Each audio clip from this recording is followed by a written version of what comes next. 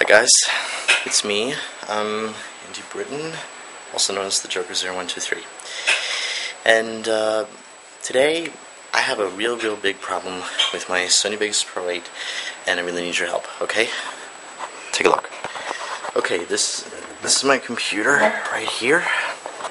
Yeah, cool background poster of Obama and uh, 60s Basic.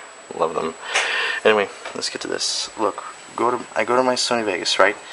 I was about to work on my next project, and take a look what happens. Take a look at what happens. It's opening up. And then all of a sudden, this thing pops up. I tried checking for solutions for the problem. It's loading, and loading, and all that jazz, yada yada. Do do do do. Do do do do do.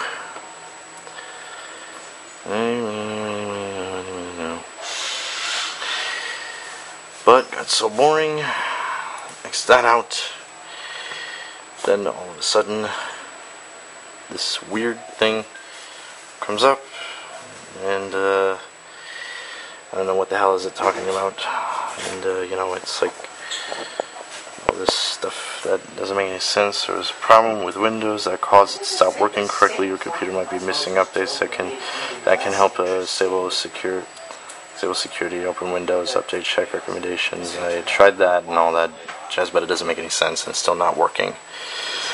So anyway, if you guys could uh, help me figure out uh, how to fix my Sony Vegas and stuff, I would be very, very, very, very happy, and I will continue to make uh, my videos and continue to finish the rest of my MEPs. Okay, thank you, and goodbye.